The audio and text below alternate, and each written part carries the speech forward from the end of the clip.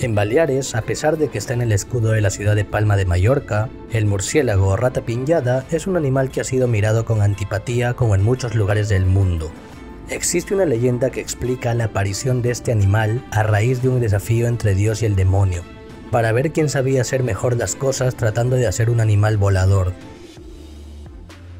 Antes de continuar te recordamos que puedes suscribirte, darle a la campanita, darnos un like o dejarnos un comentario. Cualquiera de estas nos ayuda mucho para seguir haciendo este tipo de contenido.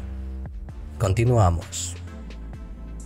Dios hizo una golondrina y el demonio hizo un murciélago. Y de sus ruidos existe la locución o frase hecha renegar como un murciélago o renegar como una rata piñada. Una frase típica que se decía a aquellas personas que tienen muy poca paciencia.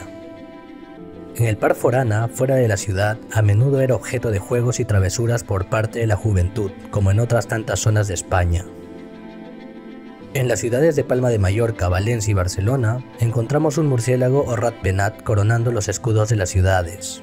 El origen parece venir del siglo XIII, ya que estas ciudades estuvieron muy unidas históricamente durante la reconquista española contra la dominación musulmana.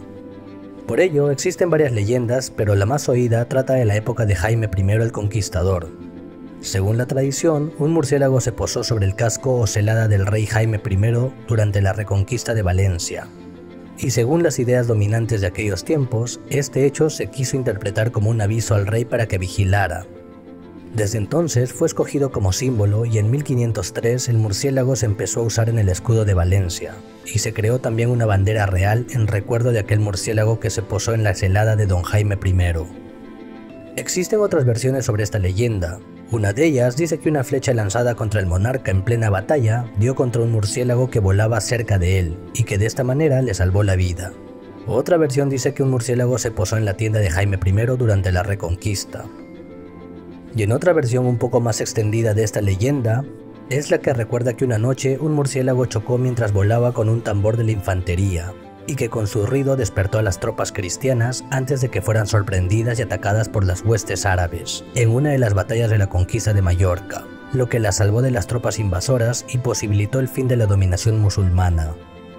Son muchas las leyendas sobre murciélagos y el porqué de su aparición en los escudos de diferentes ciudades, lo que es cierto es que en algún momento llegaron a ser tan importantes como para aparecer en estos símbolos tan emblemáticos.